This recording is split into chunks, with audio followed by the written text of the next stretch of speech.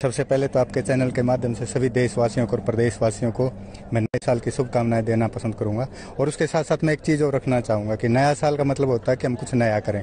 और जैसे कि अभी चंडीगढ़ आप सभी ने देखा है, पूरे देश ने देखा है कि जिस तरह से बदलाव किए कि यहाँ पे लाइन लिखी जा रही है कि स्पष्ट रूप से जो सरकारें पहले से स्ट्रक्चर पे चलती आ रही थी ढर्रे पे चलती आ रही थी उसका को, उसको तोड़ करके उसको ब्रेक करके लोगों ने एक निर्णय लिया है आम आदमी पार्टी का यानी कि आम आदमी की लड़ाई का।